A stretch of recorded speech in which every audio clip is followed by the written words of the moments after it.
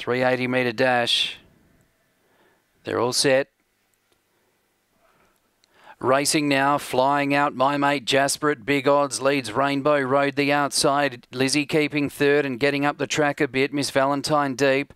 And then Getaway Sticks, Bracton, She's All Right and Moment with Love. Leader Rainbow Road, two away. My mate Jasper. And they're in front of Miss Valentine. Rainbow Road's in front. My mate Jasper coming back. My mate Jasper regains the lead and wins in 22.61 over Rainbow Road, Miss Valentine, Getaway Sticks. And then came She's All Right, Bracton, Moment with Love, and Lizzie Keeping.